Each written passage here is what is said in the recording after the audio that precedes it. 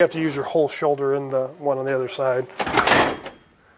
So just some things that need to be addressed as well. Winside Public Schools has a few problems. After about a decade of figuring out what the school needs to improve and expand, the Winside School Improvement Task Force is now posing a nearly $15 million question to the town. Is the school ready for some renovation? The plan is to add a dedicated ag facility for an ag focused community, create more classrooms, and consolidate facilities under a single roof. You know, one of the questions I was asked is, well, what are you going to use the shop for?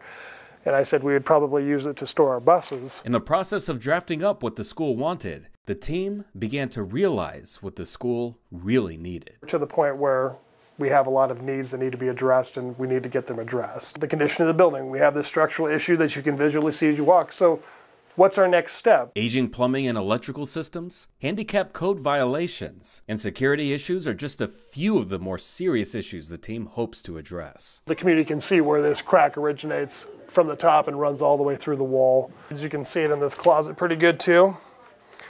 You can see how it's broken the wall their proposal involves issuing school funds as well as using a bond measure to cover the cost. If passed, it will be a 7 cents per $100 evaluation for over two years. A projection Offner says may be reduced as time goes on. In preparation for the vote, Offner has been showing concerned citizens, graduates, and other Winside residents around the school to give them a look at what's going on. To educate them and for them to make their educated vote, whether it's for or against. We wanted them to have the information so they can make their informed decision. And residents have until May 11th, 5 p.m. to make their decision known.